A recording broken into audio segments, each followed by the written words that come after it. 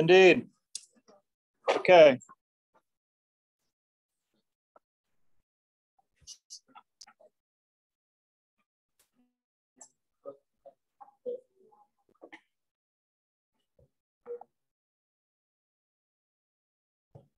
So let's dig back into tissues. Um, so I want to try to chop through as much of this as possible because a lot of this is helping us in our lab studies, in our study through tissues as well. So a lot of this is converging. So I want to try to move through as much of this as possible so that you have as much of that support as possible. So let's go ahead and continue on. Remember last time I basically mentioned I wanted to stop at this slide I wanted to kind of go back. We talked a little bit about squamous, right? The classification of the tissues themselves. And so there's two different designations. So there's layering classification. That's always going to be a, and layering comes in a couple of varieties. And then there's of course shape. And the shape is actually probably the easiest one, right? Because you have squamous cells, which are flattish, and I drew a picture of that here.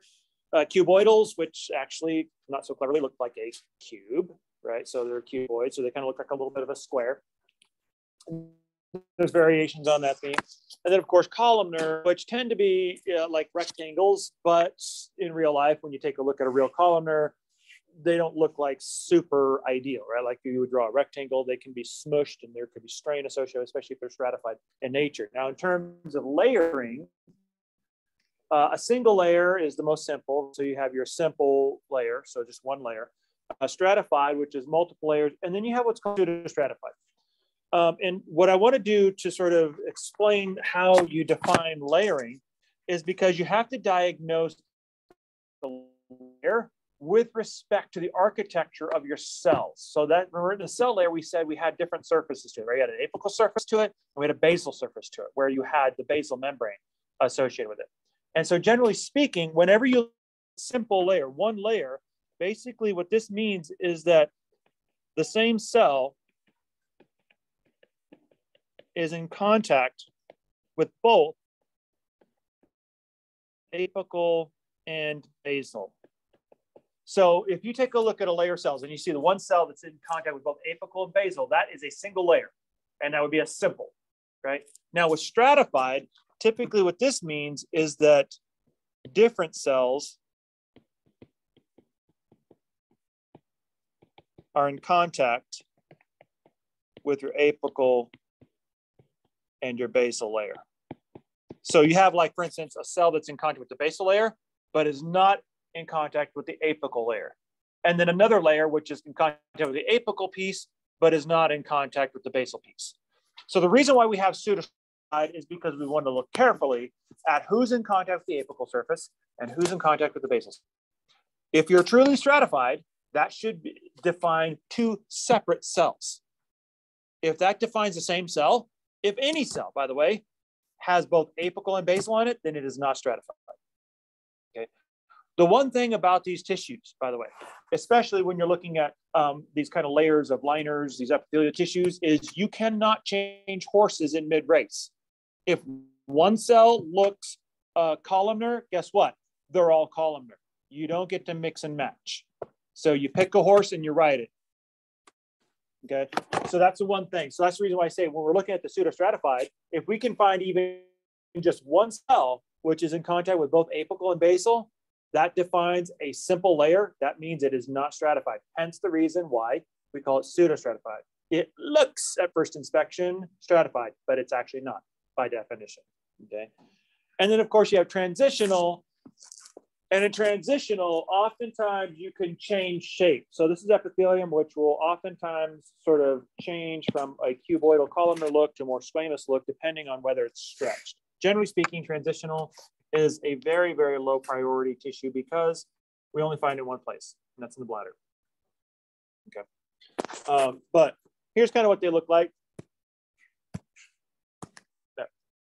So it's kind of what it looks like. So here you can see an example of your simple epithelium. So you can see you've got your basal surface here, and you got your apical surface here. So that defines one layer. So this would be one layer of simple but squamous because it is flat.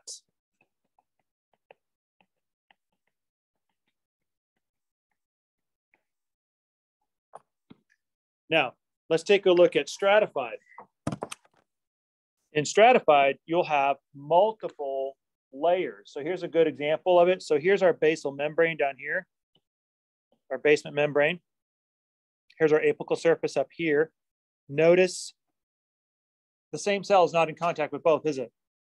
You have a basal layer, this guy right here, and you have an apical layer, this guy right here, but a whole lot of cells in between that are in contact with neither, right?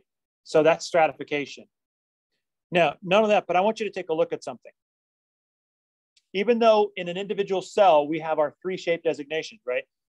Flat squamous cells, cuboidal cells, and columnar cells. When you stratify them, they can distort. Here's a good example. This entire sample is stratified, multiple layers, and it is squamous. All of it. Is an example of pick a horse and ride it. You don't switch up in the middle of the race. Here's where the confusion comes in. So you you're basically taking a look at me and you're like, okay, I'll go for that. When I look at this stuff up here, that looks kind of flat. That looks like there's multiple layers. I'll go for that, right? But then as you start to get more basal, notice the cells start to look a little different, don't they? Instead of being so flat, all of a sudden they're starting to look a little bit more cuboid in nature, right? Now, you didn't change tissues. It's all one tissue. So this is all one cell type. So what you're seeing here is often the shape distorts basally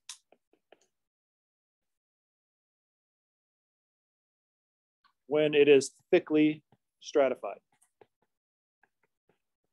That's always something to watch out for. So notice they're squamous at the top, looking more cuboid at the bottom, but they are still the same. They would classified as the same cell type. They're still stratified squamous. That hasn't changed. Nor are they transitional, right? Because you didn't stretch anything here. This is just the same thing. This is just a consequence of layering. So the reason why you have this is because um, generally speaking, as a tissue, as you start getting depth in a tissue, you start to submit those lower cells to stresses and strains of all the cells that are piling up on top of it. And so oftentimes that has a kind of a mushing or a kneading effect on those lower cells, which can distort and change their shape a little bit, even though they basically are still squamous in nature. It's just that what's happened is because of the stress and the strain of all the cells on top of them, their shape has been distorted. Just like if you were working a lump of dough. Okay, it's kind of that stress and strain is distorting that shape a little bit. So, what does that mean for you? When you're identifying and trying to determine what this type of tissue is, the important strategy is always diagnose at the apical surface.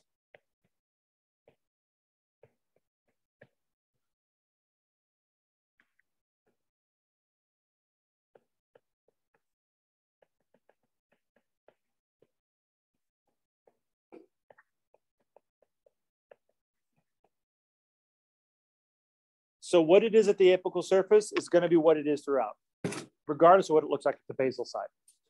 Why?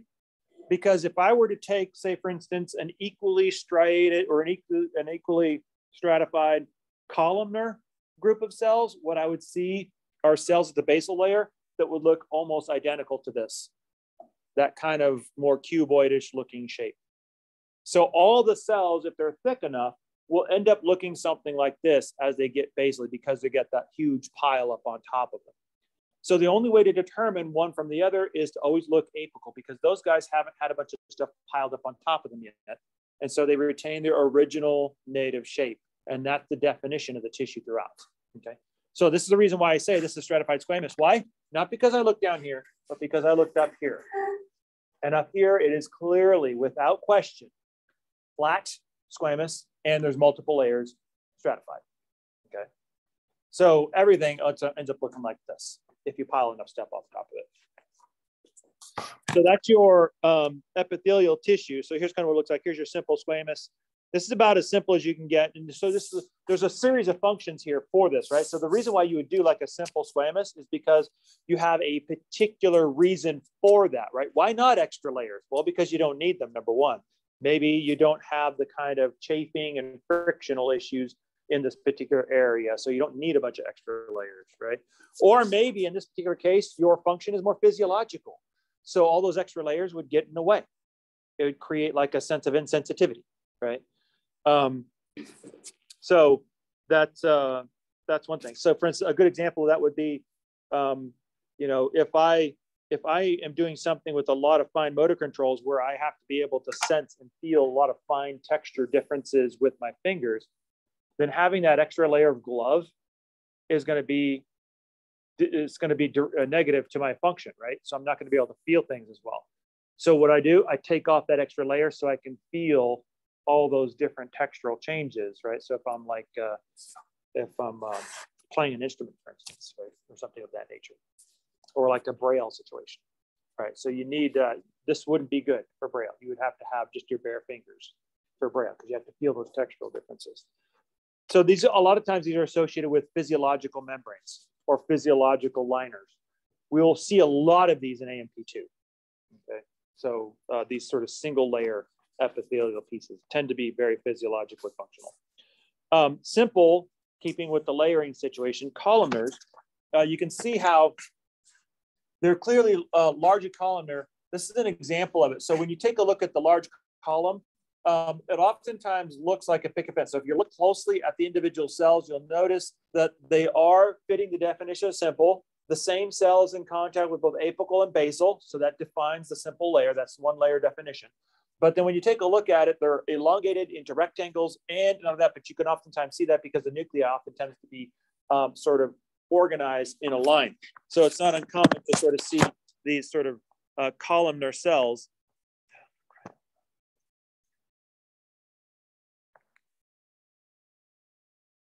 which looks something like this.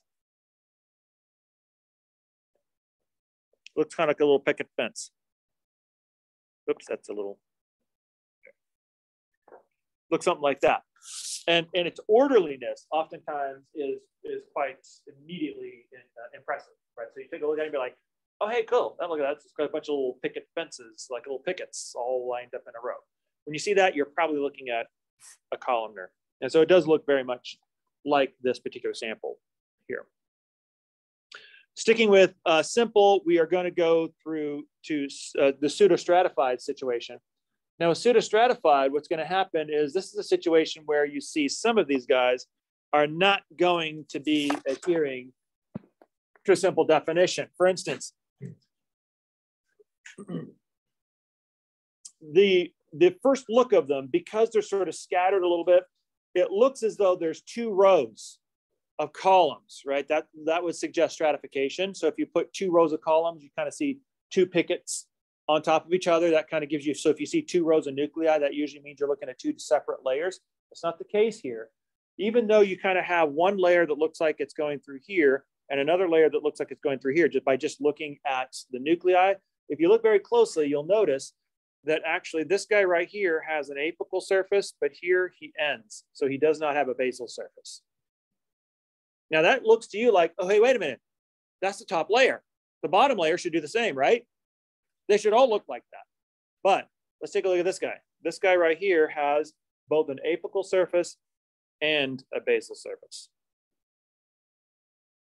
So does this guy, apical and basal. So does this guy, apical and basal. So it's a mixture of some cells that appear at first glance as though they only have one or the other, apical but not basal, basal but not apical. Those are those little triangular shaped ones. But then if you look very closely, you'll notice that no, there's actually a handful of these guys or a few of these, depending on the nature of the tissue, that actually has clearly cells that go apical to basal. That's a definition, by the way, of simple right? So even though it looks at first appearance by the way the nuclei arranged, like it's stratified, two layers, in reality, when you take a closer look at it, you diagnose it, it actually adheres to the simple definition. Hence the reason why you call it pseudo-stratified, false stratification, but they're also columnar.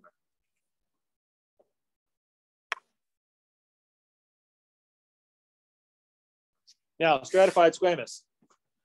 So this is one that's pretty obvious. So you can see stratified squamous is what it is. So you can see basically you've got this pile up of squamous cells. This is what we just saw. So here at the apical surface, you can see they're flattish and multi-layered. So that's where you diagnose it. So clearly this would be stratified squamous.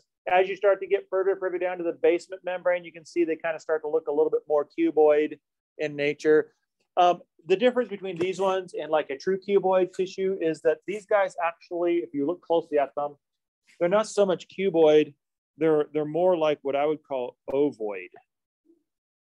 So they're not like a square. They're more like an oval a little bit if you really, really closely at them.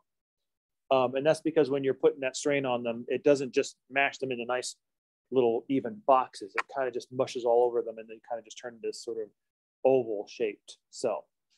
So this is your stratified squamous. By the way, you guys have an example of this in your histology set, right? It's called the scalp slide. So when you take a look at the epidermis, the upper layer, that purple layer, that's all stratified squamous. Okay.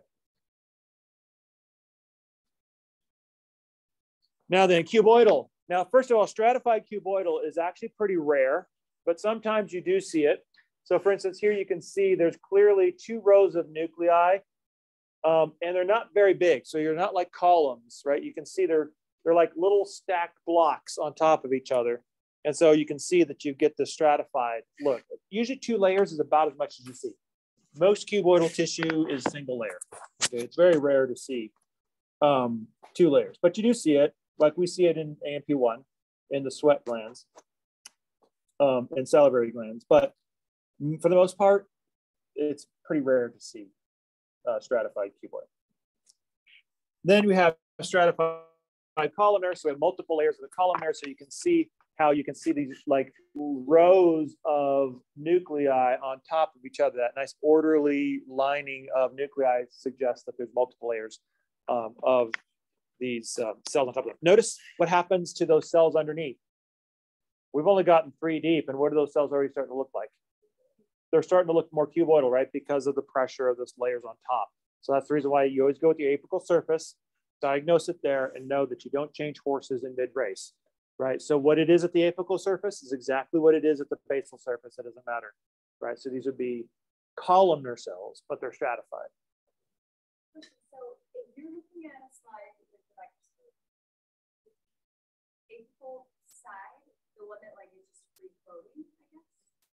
So if it depends on the cell, the slide. It depends on the sample. Typically speaking, when you're a liner, like epithelial cells tend to be, um, generally speaking, there is an open area. If you're a gland, there's oftentimes a lumen or an internal open chamber that you're pointing toward. That would be the apical surface. Um, if you are um, like tracheal linings, that's the pseudostratified ciliated epithelium, there's an opening. The airway is the opening area, so that would be free space.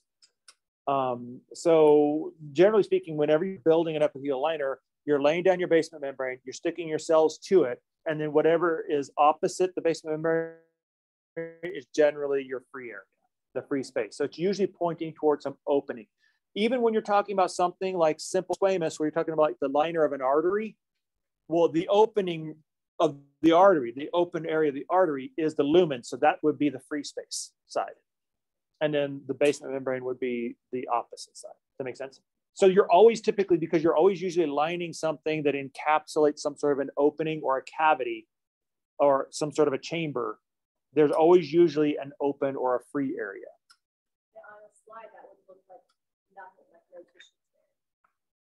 Um, so, well, it depends, right? Because like on the slide, you see the trachea, you'll see the entire liner. You'll see the basement membrane lining the trachea. You'll see the free area where it's open, where you're breathing air through.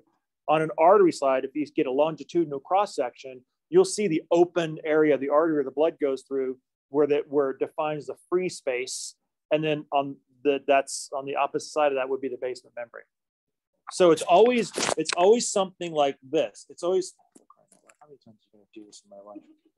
Um, so it always it's always something like this, some version of it. You've got your simple squamous, you got your basement membrane, and then usually there's some sort of an open area on the opposite side of it. That's just part. That's just how you do a liner, right? Right? Because the idea is like you always have a liner, and then basically this be like connective tissue down here or your cavity wall or whatever. Um, but there's always when you're lining something, it's usually you're lining it in the context of an open space, and that automatically defines your apical surface. Does that makes sense. For I mean, what I just drew up there. Uh, well, sagittal would be going this direction, right? So you're not looking like straight down on it. You're looking at it you're seeing all the layers.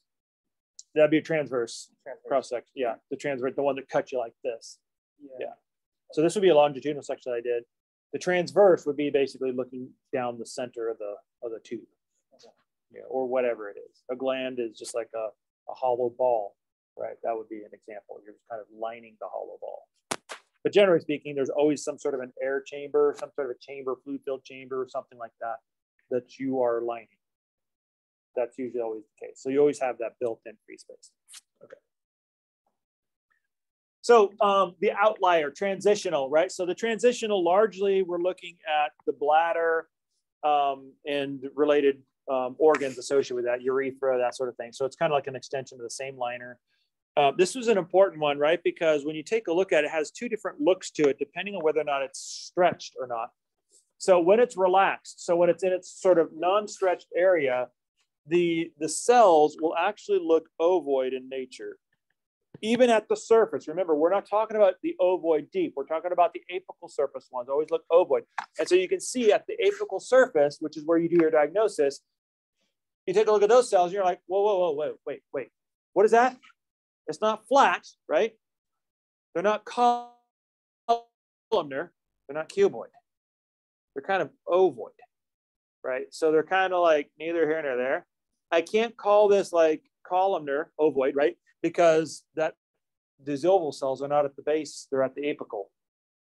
So what tissue is ovoid by definition at the apical surface? That would be transitional. Why? Because when it's not stretched, it looks ovoid. Everything kind of looks ovoid throughout. And then when you stretch it, all of a sudden it looks squamous.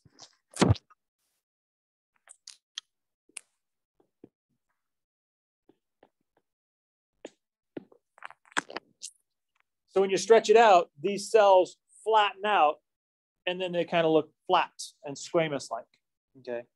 And then it kind of goes back. So it kind of goes back and forth and back and forth. So you get a full bladder, it looks more like this. You empty out your bladder, it looks more like this, and back and forth and back and forth. Okay. So sometimes if you see stretched tissue, it'll look simple squamous. Or if you see non-stretched tissue, usually that one will confuse you. So it'll be like, we didn't have a ovoid. Yeah, we did. Transitional. Okay. Okay.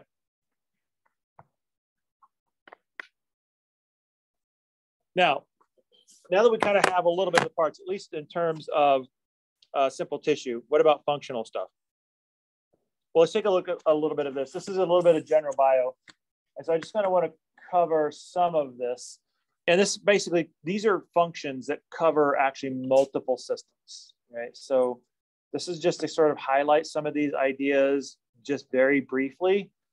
Uh, because a lot of this is, uh, some of this is unpacked in um, general bio, and some of this is unpacked deeply in A&P2, um, right? So the, a lot of times the question would be like, okay, this is great. So what is, why? Why simple, right? Why not stratified? Is that a good thing? More the merrier, right? Go Texas, go big or go home kind of a thing. Um, well, here's the reason why, because typically when you have a simple layer of epithelial tissue, it means you're not interested in physical function, you're interested in physiological function. And when you're talking about physiological function, these are the things you're talking about. So if you're a single layer, then what are likely some of the things that you're doing?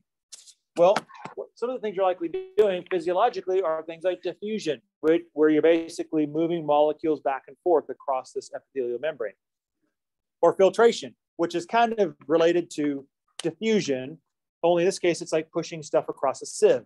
So in this case, the membrane's acting like a sieve or like a flour sifter, right? To basically screen out molecules. And so you get to that in the urinary system a lot. Um, you can secrete things or you can absorb things. That is, say you can take things up or secrete them. This also happens in the urinary system. Uh, protection, that's the one we know of, right? So protection from the outside world or from chafing or friction. Um, mucus production, that's another one. Um, that's the pseudostratified ciliated role. That's the trachea, so that's what it does for a living. Um, and there's a lot of other things as well, right? So when you have these, typically when you see a single simple stratified, or excuse me, a simple squamous layer of epithelium, typically what you're looking at is something that has a physiological functional role. That's why it's there. It's not a physical protective barrier role like your skin. That's usually stratified squamous, right? So like you, here's a good example of the idea of structure function, right? The, the structure is kind of giving you some tips and some hints about what they do. So if I need to protect myself from friction and chafing, guess what? I'm gonna thicken up my skin. By the way, your skin does that automatically, doesn't it? How many of you guys work with your hands? Right? How many of you guys have like big old gnarly calluses on your hands? Yeah, that's you responding to friction and chafing, protecting yourself because you realize that there's more friction and chafing going on there than in the rest of the part of your body. So you're basically protecting yourself from the excess friction. Okay. So um, that's that's that. So some of the different tissue types and their location. So this is kind of helpful for you table people. So when you take a look at stratified epithelium, so the previous one was ep was um, simple. This is stratified.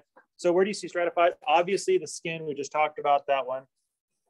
Um, the movement of something. Notice if you're moving stuff, that is movement. So there's frictional rub associated with that. So you see that associated with the larynx. Um, movement and of, of, uh, of urine in this particular case. So you're going to have more layers. Notice they all have something in common, don't they? Basically, when you have stratified tissue, it's because there's something moving through there, creating frictional type of, of chafing, some rub. And so as a result, you bolster up your layers to protect you from that rub. Now, obviously, the kind of chafing that you're getting in your urinary bladder is nothing like what you're getting in your skin, but it's a but it's a different material, right? So it's a different type of a, of a layering in there, but you have multiple layers because on a physiological level, you still have frictional tension on these surfaces, and you need to protect yourself from it. So especially if you happen to be unlucky enough to have some sort of an inclusion passing through your urinary system, um, whether or not it actually turns into a stone. But those are basically solid masses um, that have coagulated, most of which, by the way, you urinate out inclusions on a fairly constant basis. But generally speaking, they don't um, aggregate to a large enough size to cause a problem, so we don't even notice it. But if they, but they're still there, so they're still hard inclusions that are rattling around. So if you have those things kind of pinging around your bladder, running into that bladder wall, you'd better have a few layers there, right? Because you're probably going to get some cell tearing and things like that. If you only got one layer, you're screwed, right? So you have multiple layers there because who knows what you've got going through your bladder. It is, after all, a waste bin, right? And if, and and and generally speaking, you want to um, uh, it's not it's not a lot of fun. Crawling around in your garbage can is not a good thing. your physiological garbage can. Okay. So what about these free surfaces, right? Let's kind of circle back around to that original concept of the free surfaces. So what about these? Um, how do we how do we modify these? So epithelium basically will have a free surface? They also have a basal surface. They have to have a basal surface because they have to have a foundation, right, to build their cell liner on. But what about this free surface? What about this apical surface? Well, what can we do there? Well, oftentimes what'll happen is because if you're physiological in nature, which oftentimes you are, then you want to be able to sort of mess with your apical surface, right? So you want your apical surface to sort of match what your physiological function is. In some cases, yeah, that means you need to modify it a little bit. So here's a good example. Um, when you take a look at an epithelial liner, this free surface, sometimes you can basically create, how many times is that now? I quit. Um, at least that. So, so basically what you can do is you can create a, a type of epithelial cell, typically squamous in nature. that's smooth, that's abnormally smooth. Um, and and the reason why it's smooth is because its its job is to that one I don't mind so much is to reduce friction, right? So this basically allows passage of something, whatever that is, blood, for instance, in your arteries. Okay. When we have this sort of smooth, uh, sort of lubricated, usually version of epithelium, we usually refer to it as endothelium. It's inside endothelium. It's inside epithelium. Okay. And, and that's what we have. Now, that's one of the modifications we can do. So if we're moving stuff through and we need to reduce friction, then we can create a smoother version of this, grease it up a bit, and really reduce that friction. That really helps us out a lot. Uh, you see a lot of this in A&P2 when you guys look at the structure of arteries, okay, the inside endothelium. The other one we can do is, depending on what it is, we can fold up our uh, inner membrane. Um, and so this is uh, an example of what happens with the transitional, right? So the transitional is actually folded. So it's folded and distended in this case. And what this does is it basically changes shape, which essentially means it gives it flexibility.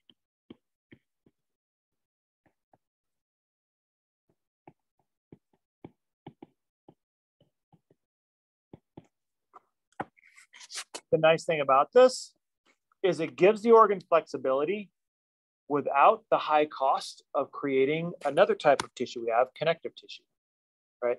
Most of our flexibility is associated with connective tissue, but think about it. A bladder made of connective tissue, that would not probably be the best idea. So you want something like that's a little less structurally robust for this one, but you still want it to be flexible. So that's what the transitional does. The fact that it can actually fold up allows you to be able to have the best of both worlds. Now, what happens if you are absorbing stuff through your apical surface, which is happening with your intestinal cells.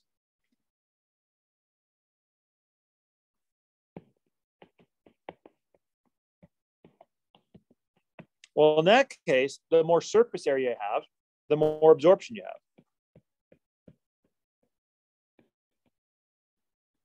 And that's a good thing. Because that means if you've got increased surface area, you're able to absorb more of your nutrients and make use of that and put that to work for you. Okay. Now, what does this look like? If you have a cell with microvilli on it, you're going to have these like little fleshy kind of extensions on it, and then these like little hair-like extensions. So the microvilli increase your surface area so that you can do more absorption across that.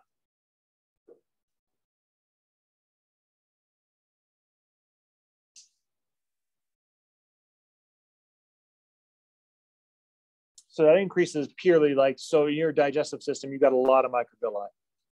Um, these like little hair-like extensions that it helps to increase your absorptive ability. So you're able to absorb more for less, right? For less cost of structure, you're able to absorb more.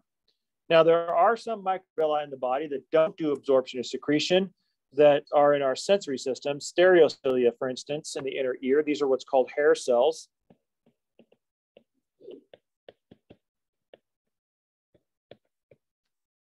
which distort mechanically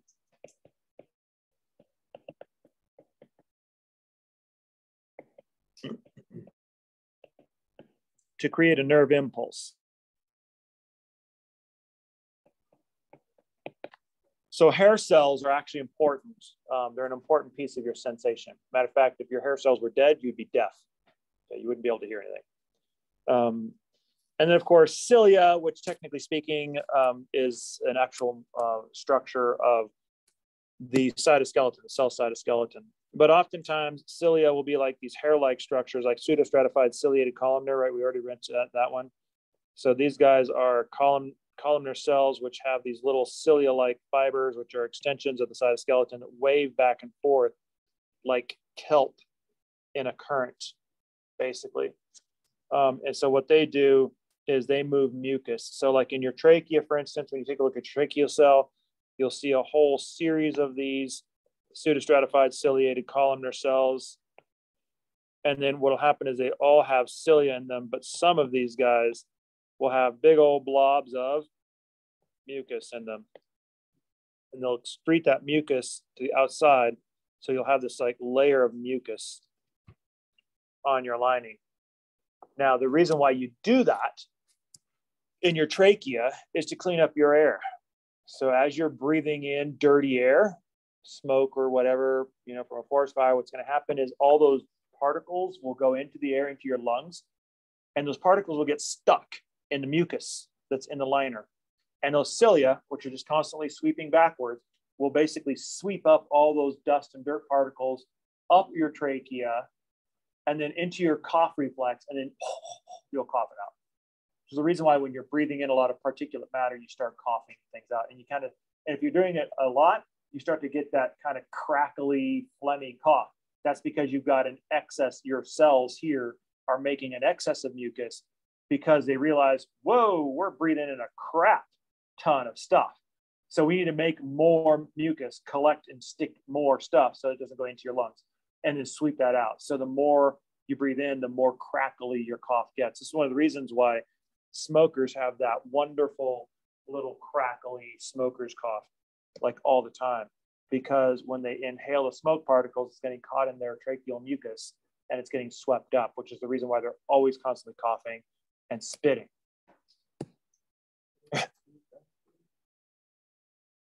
uh, well, it's not necessarily positive because it's constantly going on. Like right now, your pseudostratified ciliated uh, columnar cells on your trachea are now, as you speak, making mucus and sweeping. So it's constantly going. Uh, typically speaking, um, it, it, it does have, I don't know how strong of a positive feedback loop it would be to upregulate it, um, but there's probably a little bit of it there. I don't know how steep it was. I mean, usually like a really fast, steep response is something that we associate with a strong positive response. Um, tracheally, because you already have a pretty significant baseline there, and it's not an automatic. I mean, like it takes you a while to get to that point. Like for instance, when you first start, you start off like this, right? That's basically a controlled cough. That's you clearing your throat. Clearing your throat is getting some of that particulate mucus out of your throat so you can deal with it, right? So it starts off that way, and it could be that way for a little while and then it'll eventually, it'll, if it continues, it'll start getting to the point where it's starting to upregulate. But it's a long, it's a longer process than what you would expect for a traditional positive feedback loop. Positive feedback loops generally are characterized by taking a process that moves slowly and making it exponential, because it's like a life or life or death kind of a situation. That makes sense. So there is kind of a positive effect and upregulation to it, but I wouldn't necessarily call it aggressive enough to put it in that feedback category.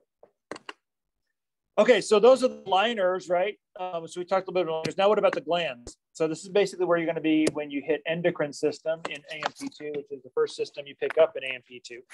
And so when you take a look at um, uh, glands, typically speaking, this is where you have epithelium that's specifically designed for secreting stuff.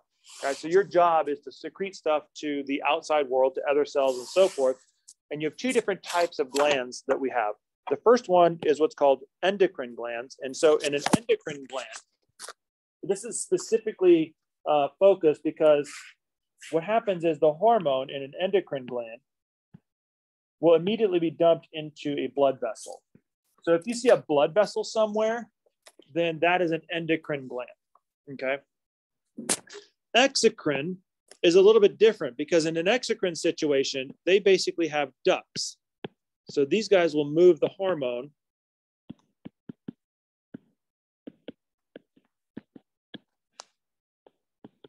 through gland specific ducts, a ducting system.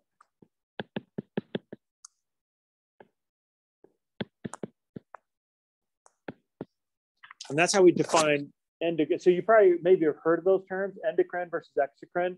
That's what we're talking about. In an endocrine situation, you're taking your hormone and you're dumping it immediately into the bloodstream for distribution to the rest of the body. In an exocrine situation, you're sending it through a duct.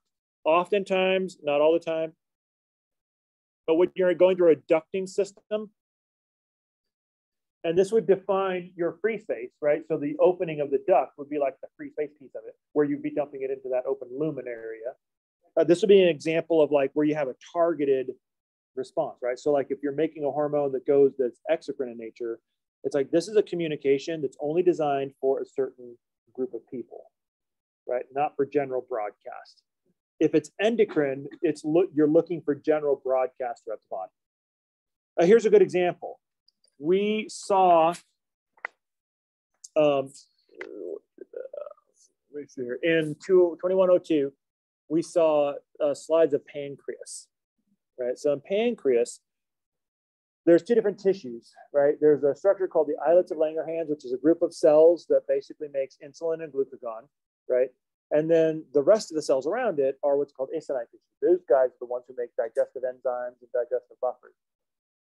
The endocrine stuff is the islets. That's the insulin glucagon. Why? Because it gets distributed, it gets made, and it gets dumped directly into the bloodstream. Why? Because glucose maintenance throughout your blood, of which insulin and glucagon are part of glucose homeostasis, is a systemic thing. Every cell has to have control of their glucose uptake and utilization. Therefore, insulin glucagon is a message that goes out to everyone. Okay. Now, exocrine wise, the digestive enzymes are only specifically for the digestive system. You don't want to send your digestive enzymes throughout the rest of the body. Number for many reasons. Number one is the rest of your body doesn't care about their digestive enzymes. Number two is you would digest yourself. That would be a bad day, right? The pancreatic, uh, the the like the digestive enzymes in the pancreas is an example of exocrine.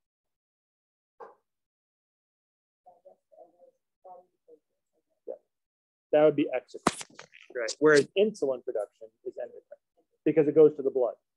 And that's because your target communication is system wide.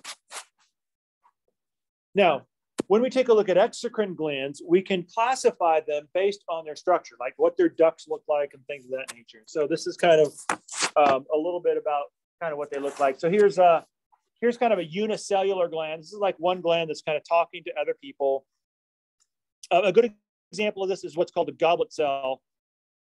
Um, a goblet cell is what I just described in the pseudostratified ciliated columnar cells as a mucus producer.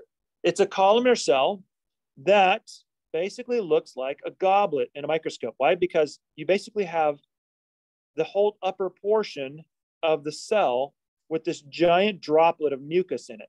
It makes it look like a goblet.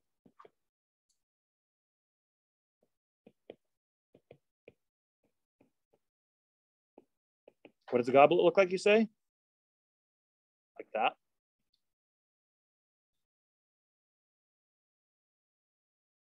So that's the reason why it's called a goblet cell, is because it kind of has this big old blob of mucus in there. Or if you're some other type of gland, you got some sort of other communication that you're going for. Um, this would be, you know, like a blob of something else or some other type of solution or chemical that you're trying to communicate out right? So that would be like a unicellular situation where one cell is trying to communicate to everybody else, and that happens. Now, when you're talking about glands, you're talking about a group of cells. Remember, basically, first of all, and it didn't mention it here, but one thing I want to make abundantly clear is generally glands, not always, generally,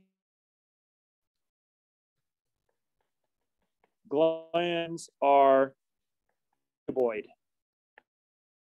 cells. Sometimes they're columnar, but mostly cuboid. Give a point where if you see a group of cuboid cells, you're probably looking at a gland. Okay. So this basically accounts for the majority of cuboid tissues in your body.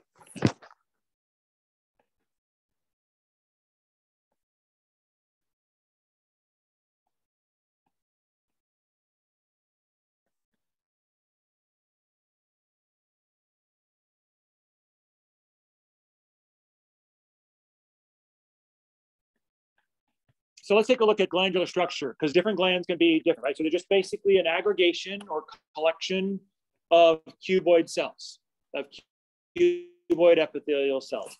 So let's take a look at this. You could imagine, and these are all basically uh, variations of what a single layer could do, right? So if you take a look at your starting point, which is one single layer of cells. So you're gonna have one single layer of cuboid cells with your free space and your basement membrane. So here's my basement membrane, here's my apical surface. If I were to pull this down, which is called invagination, it would create basically this kind of hairpin looking thing where my cuboid cells would kind of line the, the inside surface. Look something like this. That makes sense? So if you do that, that creates what's called the simple tubular style of gland. Okay. That's a single invagination, simple tube-like structure. Now, if I were to pull on this tube, like in this direction and in this direction, it would basically create like a little bulge out either way. And then I would create some branches. So this would be simple still because it's single layer, but branched tubular. So there's basically tubes that are branching out from this overall tube. Make sense? Of gland. Now, the other type is what's called acinar. Um, and so you can have the simple one. So in this case, what happens is how many? Six, 12, 25. Okay, so in this case, what happens is instead of pulling this out, what you do is you kind of just sort of poof out the bottom part until it kind of creates this little lobe. And that would be simple acinar. If you create branched lobes, then that's going to be your branched acinar. So acinar basically is these lobe-like structures. Um, example of this is your sebaceous gland, which is your oil-producing glands in your skin. Okay, so these have this kind of acinar look to them, branched acinar. Okay, now those are simple. Let's make it interesting. Compound glands. Let's be crazy, right? So ultimately, these will oftentimes be multicellular with typically lots of stuff going on, lots of branches, lots of lobes, lots of all sorts of things going on. You have a combination of all kinds of things. You'll have you'll have pieces of tubular in there. You'll have some acinar stuff. You'll have both, right? So you can kind of go all over the place now. You're kind of elongating it and sort of creating this more labyrinthine-like structure. So for instance, here is going to be a compound tubular. So you can see how you've created multiple little avenues here, like a branching of the branch, basically. Uh, but notice it's all straight, which makes it tubular. So this would be a compound tubular. So notice the branch has branches. In this case, you notice it's a compound acinar. Why? Because each branch is lobed into smaller branches. So instead of having tubular branch subbranches, you've got lobe subbranches. That's what makes it acinar in nature. We have three, one, two, three, is branched into three more branches, A, B, and C. Okay, that's kind of what makes it compound. Branches have branches. Or you can mix it because nobody says you have to do the same thing. So you can basically have this tubular acinar. So where you can have, you know, tubes here and here and here, and then lobes here and here and here and here. You can have a tube here and a lobe here. So you can mix and match all of these. So this would be uh, this would be a type of gland where you would have tubular acinar. This is basically what's happening in the pancreas. We have a combination of tubular and acinar. Wow. Okay. Now my head is spinning. But the idea is notice what's happening. Now, when you look at it histologically, what it looks like is a pile of cuboid cells. And generally speaking, you don't ever see the differentiation between their structure because we would really have to get like almost a perfect prep of a gland to be able to see, you know, whether it's tubular or acinar things like that. So if you were into endocrinology and you actually had to do um, surgery, say for instance, on on a gland like this, then you probably need to know this, right? But for the most part, you'll probably never be able to see this well. what you'll see probably most glands looking like just from a working student's perspective, looking at a microscope of histology, is you'll see like what looks like a pile of cells that looks like a cluster of grapes, right? Or like a cluster of cuboid cells, and that's like a, a gland. Uh, the alternative that you would see, some of you guys have seen this, right? How many of you guys saw the cuboid wheel? Looks something like this.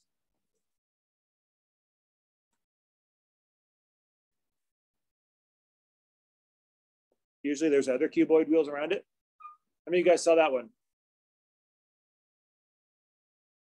Oh, you will. Hopefully. You'll see it today. You'll be looking for it, right? There's usually multiple cuboid wheels around. Uh, you'll see this in kidney and others. So like when you see this, basically what this is, is, is a gland, cuboid, right? But what you're looking at is either a secretory structure where you've got something like you secretions that are coming in here, or what you're looking at is the cross section of a duct. So this is what's referred to as the lumen. This would represent the apical free space in this particular gland. Okay. So don't act surprised when we talk about epithelial tissue as glands. Now, when you're talking about secretion, of a gland, there's three major ways that you can secrete. That's actually pretty important when you're looking at glands. There's what's called the merocrine style, which basically is a cell that goes through what's called exocytosis. How many of you guys know what exocytosis is? Those of you who took general bio and remember it. So basically, exocytosis is the normal cellular process of moving large molecules out of the cell by fusing vesicles to the plasma membrane. So in exocytosis, if I've got a vesicle full of stuff that I want to get outside of myself, then what I do is I basically take that vesicle, which is a membrane bound bubble, I touch the plasma membrane with it, and just like two soap bubbles touching each other, they fuse together. And when that happens, then I get a vesicle that looks something like that. And then all the contents of my vesicle come spraying out, in this case, the outside world. That's secretion. I've successfully secreted whatever that is. I've done my job. Okay. You've secreted it into the duct, and then it goes off to wherever the duct needs to go and, So this is normal. This is normal cell stuff. There's nothing wear and tear about this one. This is a cell doing its job, just like a normal, everyday, average cell. Okay. Now, the next type of secretion pattern that you see is what's called apocrine. Now, this one's a little bit more destructive, but here you basically pinch off fragments, typically of the cytoplasm. So you'll see little chunks of cytoplasm. So you can see here little chunks of cytoplasm that basically get broken off and dumped into the duct in this particular case. Um, and then that represents a diminishment of the gland. So it creates a little wear and tear on the cell.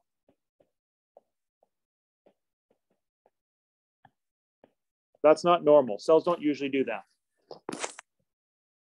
So if you're pinching off little chunks of the cell, like just little nibs of the cell, and then you kind of like dump that into the lumen, then all of the protein or the hormone that was in that little chunk then gets into the lumen and you can kind of move that out and you can utilize that.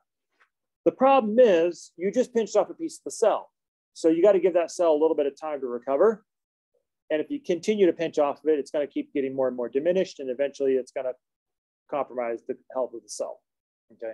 So apocrine represents a little bit of a wear and tear process. Not necessarily the best plan in the world, but it's functional. So for instance, your apocrine sweat glands will do this. Uh, so will the mammary glands, by the way. They will do the same, uh, same sort of thing. Um, now, then there's holocrine glands. Think holo, think Holocaust, right? Holocaust was an era of human history where there was a massive amount of death. right? And devastation. That's what the Holocaust is. Matter of fact, even if you use the incendiary version of Holocaust, a Holocaust is an out of control fire that typically has a completely uncontrollable behavior and it's pretty much devouring everything in its path. It's exceptionally destructive, right? Uh, if you're a fire person, this is basically what you're talking about when you say that fires, big fires, out of control fires, holocaustic fires, create their own weather. Um, that would be a holocaust. Okay, fires that have the ability to create their own weather are a holocaust. Okay, uh, from a fire standpoint. Basically, what's talking you're talking about destruction, and that's what holocaust secreting does.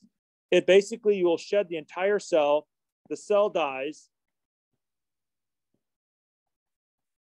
and it releases its contents.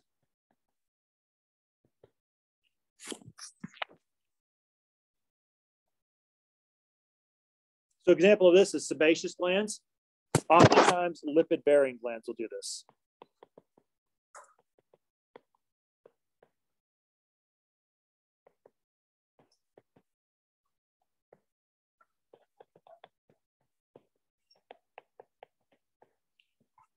Why? Because they can't just secrete a lipid into a liquid, right? Because what happens when you mix oil and water? They separate, right? So you can't just dump a lipid into an otherwise water-based system.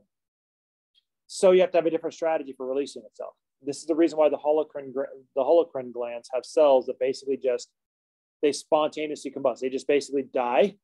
And then when they dissolve, they basically sort of release their contents, their lipids, so that you can kind of get past that slow release problem of releasing a lipid with a water-based matrix.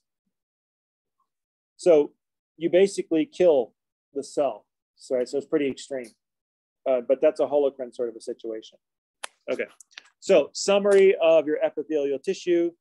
Uh, basically, you can see this is just your person. This is just where you wrap up visually. So you have your stratified um, tissues and you have your simple tissues. You've got your um, squamous, cuboidal, columnar, pseudo-ciliated, columnar, and transitional, right? Those are all different types of epithelial tissue. Notice a lot of different types of tissue, yes? Very different, very distinct. The reason? Because you're deploying each one for a very specific set of functions. The reason why they're so different is because they're trying to achieve a specific different type of a function. Now, let's get to the good one. Uh, admittedly, chapter four, if you take a look at the content of chapter four, the lion's share of chapter four can be split up between epithelial tissue and connective tissue. And the biggest of those is connective tissue because you got a lot going on. So here's what we got. At this point, all we have is a line of epithelial cells, yes? We have a basement membrane, yes? But now we have nothing else. So what do we put underneath the basement membrane? Exactly, right? Everywhere you're building a tissue, think about it. You have epithelial tissue, it requires support, yes? if you can look at any tissue in your body, it all requires support. And that's a ubiquitous function throughout. So when you're taking a look at connective tissue, it's basically all pulled together.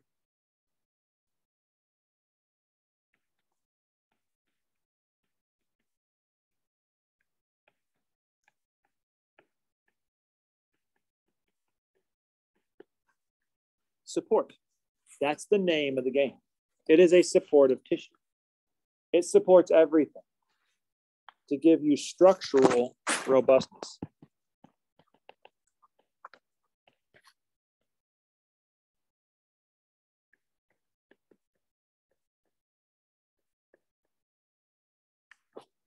Think about what I told you guys um, a little bit in a lab. So some of you guys were looking at reticular tissue. A couple of you guys were, right? And you're like, okay, where's the reticular tissue? And remember we said that with reticular tissue, one of the things you have with reticular tissue is that it is largely a supportive thing. It's oftentimes found in organs where if you didn't have that in there, your organ would probably resemble applesauce right? So that would be an example. If you didn't have any connective tissue in your body, what most of your body would be like is applesauce, right? Because what gives you your physical shape, your support, your ability to do a lot of this sort of stuff is the connective tissue. That's the reason why connective tissue is so important. So it's everywhere to be found. It's in every organ. Um, it actually forms in a lot of ways organs in their own right. Um, but basically, what this one is remember when we said that the epithelial tissue is defined and dominated by characterizing its cells? That's what we went through, right? We're characterizing their cells. Are they simple? Are they stratified? Are they whatever. In this one, you are characterized by your extracellular matrix. So the tissue itself is defined by its extracellular matrix, not so much the cells. The cells are simply there to maintain it. But what we think of as the tissue in connective tissue is actually extracellular matrix. So it's kind of a slightly different way of looking at things. And not only that, but there's a lot of diversity in the different types of connective tissues. Um, and they actually run the gamut, right? So some things where you kind of think of them as connective tissue, all the way to things where you probably don't think of them as connective tissues. Okay, but they all basically have the same idea. So let's take a look at a rigorous list of some of their functions. Uh, some of them obviously is they're working with organs. So they actually have the ability to close them up and to keep them closed right? And they also have the ability to separate them into layers. That's an important one. Um, so you have connective tissue pretty much all throughout your organ system, sort of dividing them up into chambers or to quadrants or into layers. Like, for instance, the lobes of your liver are separated by sheets of connective tissue that defines the structure and the regional space of your liver itself. So it's all basically interwoven through your organs defining their shape and their organization. Um, you can also connect one tissue to another. This is actually a really key point. I'm going to put a little big star in there because this is how you connect yourself together. So if you're wondering how tendons connect muscles to bones and how ligaments connect bones to bones, it's because of connective tissue. Okay. So your articulation, that is to say, how you put your body together and how you keep your body together is a story of your connective tissue. So um, the other thing it also helps you do is support. Obviously, we did that one, but movements, right? Ambulation.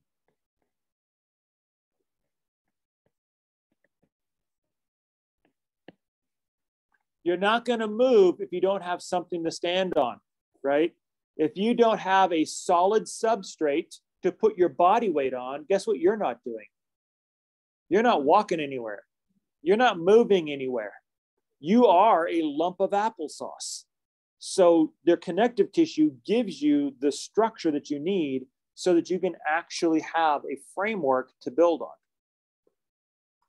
Here's one. So these are basically the physical ones. These are the ones we usually think of. So these ones here, these are the obvious ones that we think of with like things like connective tissue, support structure, things like that. However, there are some like physiological ones. So these are the ones we tend not to think of. So storage, for instance, of fat. We don't think of connective tissue that way, do we? Of fat is connective tissue, adipose tissue, right? Um, cushioning, fat layer, right? And insulation, also fat layer. We're talking about the idea of how fat can create insulation and can create variable experiences when you come to uh, being in the cold, right? So, like if you have more layers of insulation, you're more cold tolerant, which is one of the reasons why mammals oftentimes will gorge in the fall as they try to bulk up for the winter, especially hibernators, right? Because the idea is if they build up their fat reserves, then it gives them the necessary insulation and the necessary energy source to be able to just hibernate throughout the winter and not have to worry about that, right? Um, transport. Blood is technically a connective tissue. It's a fluid connective tissue. We'll learn about that one here in just a second. Uh, and then, of course, protection of our immune cells. This basically is referring to your lymph, which is also fluid. So these are type of fluid connective tissue. But notice interweaving throughout all of these, what's common to all of these? What's common to all of these is a common thread. You have some sort of a function that you're doing, yes? But what you need is a supportive background to do those functions against. Right? You have blood, which is doing a job. But guess what? You need a connective tissue to support those red blood cells. You have immune cells, which are doing a job, but they need the background, so the background t- connective tissue to give them support and structure in the lymph, right? So you have energy storage and insulation, but you have a connective tissue fat in the background that allows you to be able to do that as capacity. Notice in every single one of these cases, you have some sort of a physiological job that you're doing and the connective tissue is forming kind of almost like a foundational background strategy so that supports those activities. Think of it like a painting. If you've ever looked at a good painting, oftentimes what really makes or breaks a good painting is how you start it.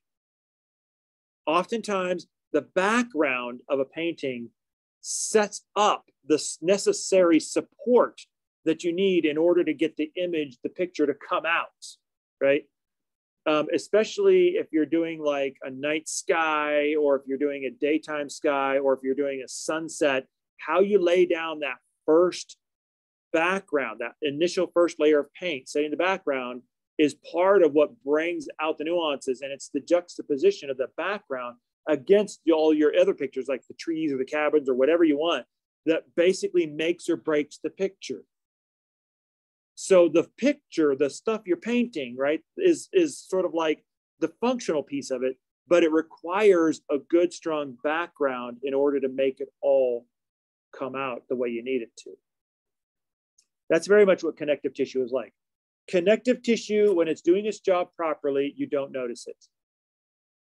When it doesn't do its job properly, oh yeah, you notice it, right? Because you notice that all of a sudden your joints don't work.